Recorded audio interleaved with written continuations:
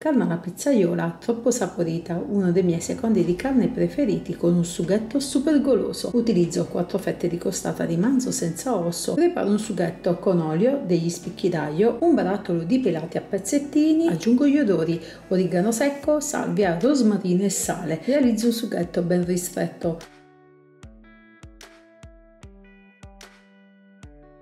Aggiungo le fettine di carne che devono cuocere veramente pochissimo, una voltata e una girata.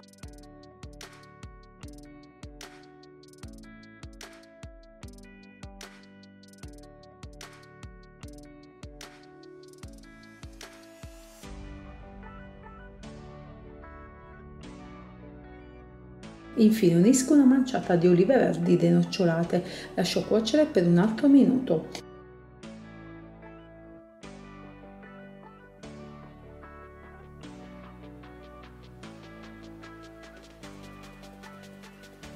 Ed ecco qua miei carissimi amici, pronto il fantastico piatto di carne alla pizzaiola. La scarpetta è d'obbligo, un piatto semplicissimo. Cosa aspettate? Provatelo subito!